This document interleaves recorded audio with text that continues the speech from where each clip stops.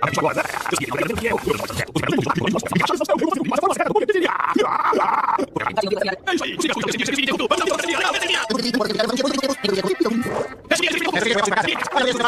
八点半，五十五，我付钱。四一四一四一四一，四一四一四一四一。不要傻的。啊！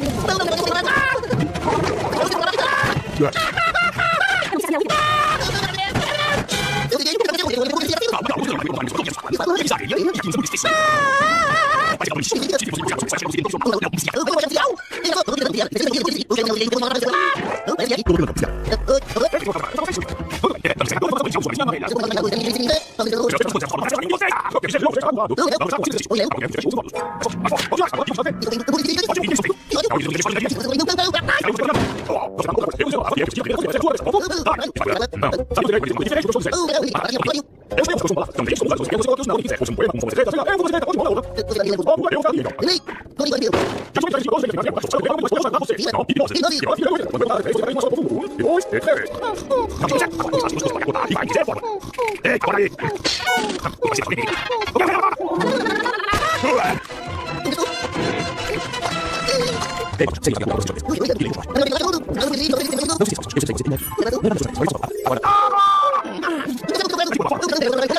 Miguel, atacando solo, pues ahí está, por